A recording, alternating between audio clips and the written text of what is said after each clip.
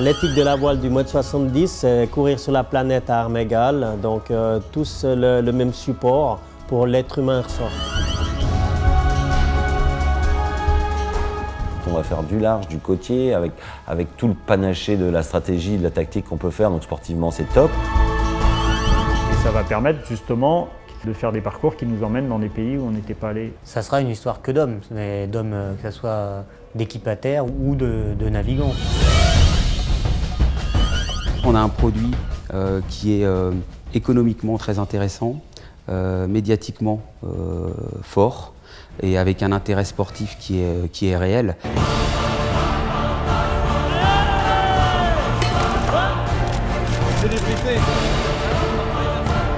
On ne peut pas avoir d'intérêt médiatique si le public ne s'intéresse pas et vice-versa.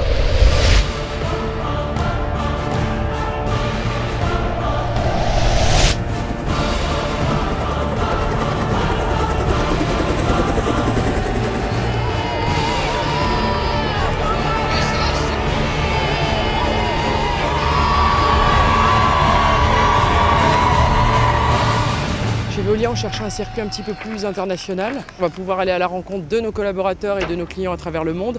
Et puis, bah, il y a cette, euh, cette aventure de l'eau. L'objectif de la fondation, c'est une fondation qui s'attache à la préservation de l'eau. Pour nous, les enfants, c'est la génération future. Donc euh, c'est une population qui doit être sensibilisée dès maintenant, parce que c'est certainement sur eux que reposent euh, les enjeux et les grandes décisions du monde de demain, ça c'est sûr.